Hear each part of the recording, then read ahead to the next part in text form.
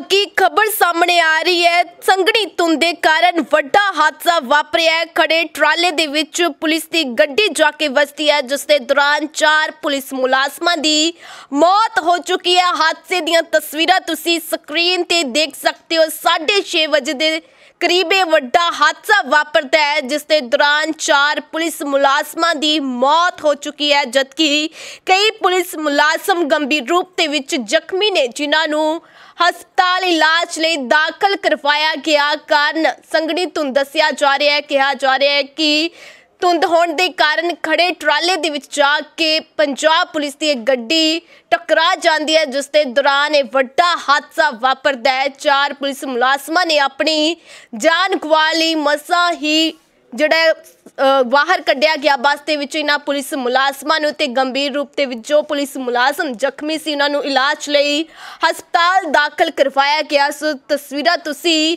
ਹਾਦਸੇ ਦੀਆਂ ਸਕਰੀਨ ਤੇ ਦੇਖ ਸਕਦੇ ਹੋ। ਜਲੰਧਰ ਪੀਏਪੀ ਤੋਂ ਗੁਰਦਾਸਪੁਰ ਬੱਸ ਜਾ ਰਹੀ ਸੀ, ਜੋ ਰਾਹ ਦੇ ਵਿੱਚ ਭਿਆਨਕ ਹਾਦਸੇ ਦਾ ਸ਼ਿਕਾਰ ਹੋਈ ਹੈ। ਸੋ ਵੱਡੀ ਗਿਣਤੀ ਦੇ ਵਿੱਚ ਪੁਲਿਸ ਮੁਲਾਜ਼ਮ ਮੌਕੇ ਤੇ ਪਹੁੰਚੇ ਨੇ ਤੇ ਬੱਸ ਦੇ ਵਿੱਚੋਂ ਪੰਜਾਬ ਪੁਲਿਸ ਦੇ ਮੁਲਾਜ਼ਮਾਂ ਨੂੰ ਬੜੀ ਮੁਸ਼ਕਲ ਦੇ ਨਾਲ ਬਾਹਰ ਕੱਢਿਆ ਗਿਆ, ਜਿਸ ਦੇ ਦੌਰਾਨ ਚਾਰ ਪੁਲਿਸ ਮੁਲਾਜ਼ਮਾਂ ਦੀ ਮੌਤ ਹੋ ਚੁੱਕੀ ਹੈ। ਸੋ ਬੇਹੱਦ ਹੀ ਮੰਦਭਾਗੀ ਖਬਰ ਸਾਹਮਣੇ ਆ ਰਹੀ ਹੈ। ਸਵੇਰੇ ਹੀ ਚੜ੍ਹਦੀ ਸਵੇਰ 6:30 ਵਜੇ ਦੇ ਕਰੀਬ ਇਹ ਵੱਡਾ ਹਾਦਸਾ ਵਾਪਰਦਾ ਹੈ, ਜਿਸ ਨੇ ਹਰ ਇੱਕ ਦੇ ਰੋਂਗਟੇ ਖੜੇ ਕਰ ਦਿੱਤੇ। ਪਲਾਂ ਦੇ ਵਿੱਚ ਚਾਰ ਪੁਲਿਸ ਮੁਲਾਜ਼ਮਾਂ ਦੀ ਮੌਤ ਹੋ ਚੁੱਕੀ ਹੈ। ਸੋ ਇਸ ਵਕਤ ਸਾਰੇ ਪੰਜਾਬ ਪੁਲਿਸ ਦੇ ਮੁਲਾਜ਼ਮਾਂ ਦੇ ਵਿੱਚ ਦੁੱਖ ਪਾਇਆ ਜਾ ਰਿਹਾ ਹੈ, ਕਿਉਂਕਿ ਮੌਕੇ ਤੇ ਹੀ ਦਮ ਤੋੜ ਦਿੰਦੇ ਨੇ। ਹਾਲਾਂਕਿ ਰਾਹਗੀਰ ਜੋ ਆਪਣੇ ਆਪਣੇ ਕੰਮਾਂ ਤੇ ਜਾ ਰਹੇ ਸੀ ਤੇ ਜਦੋਂ ਉਹਨਾਂ ਦੇ ਵੱਲੋਂ ਅੱਖੀ ਹਾਦਸਾ ਦੇਖਿਆ ਜਾਂਦਾ ਹੈ ਤੇ ਮੌਕੇ ਤੇ ਪਹੁੰਚਦੇ ਨੇ ਤਾਂ ਇਹਨਾਂ ਪੁਲਿਸ ਮੁਲਾਜ਼ਮਾਂ ਨੂੰ ਬੱਸ ਦੇ ਵਿੱਚੋਂ ਬਾਹਰ ਕੱਢਿਆ ਜਾਂਦਾ ਹੈ, ਜਿਸ ਦੇ ਦੌਰਾਨ ਚਾਰ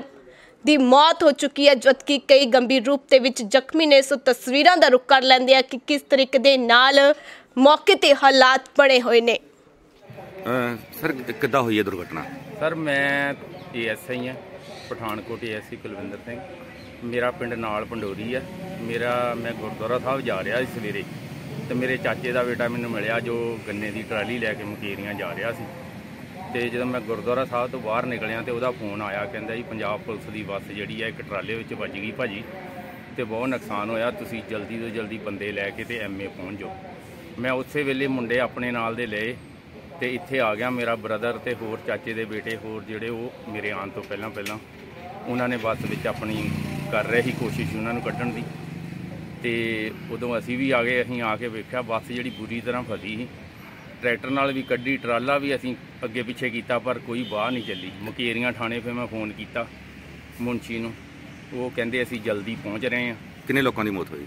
ਇਹਦੇ ਵਿੱਚ ਇੱਕ ਲੜਕੀ ਸੀ ਤੇ ਇੱਕ ਏਐਸਆਈ ਹੈ। ਜਿਹੜਾ ਅਸੀਂ ਕੱਢ ਕੇ ਤੇ ਮਕੀਰੀਆਂ ਭੇਜ ਦਿੱਤਾ ਉਹ ਤੇ ਡੈੱਡ ਬੋਡੀ ਸੀ। ਤੇ ਬਾਕੀ 4-5 ਜਿਹੜੇ ਮੁਲਾਜ਼ਮ ਹੋਰ ਸੀ ਜਿਨ੍ਹਾਂ ਦੇ ਸੱਟਾਂ ਲੱਗੀਆਂ। ਤੇ ਡਰਾਈਵਰ ਜਿਹੜਾ ਆ ਉਹ ਬੁਰੀ ਤਰ੍ਹਾਂ ਫਸਿਆ ਉਹਨੂੰ ਅਸੀਂ ਕੱਢ ਰਹੇ ਹਾਂ। ਗੱਲ ਕਰੀ ਹੁਣ ਤੱਕ ਪਤਾ ਲੱਗ ਪਾਇਆ ਕਿ ਇਹ ਬੱਸ ਕਿੱਥੋਂ ਕਿੱਥੇ ਜਾ ਰਹੀ ਸੀਗੀ? ਇਹ ਬੱਸ ਜਲੰਧਰ ਪੀਏਪੀ ਤੋਂ ਡਿਊਟੀ ਜਾ ਰਹੀ ਗੁਰਦਾਸਪੁਰ। ਤੇ ਗੁਰਦਾਸਪੁਰ ਸ਼ਹਿਰ ਜ਼ਿਲ੍ਹੇ ਦੀ ਬੱਸ ਸੀ ਜਿਹੜੀ ਮੁਲਾਜ਼ਮ ਲੈ ਕੇ ਆ ਰਹੀ ਸੀ ਗੁਰਦਾਸਪੁਰ ਜਾ ਰਹੀ ਇੰਨਾ ਪਤਾ ਲੱਗਾ ਜੀ।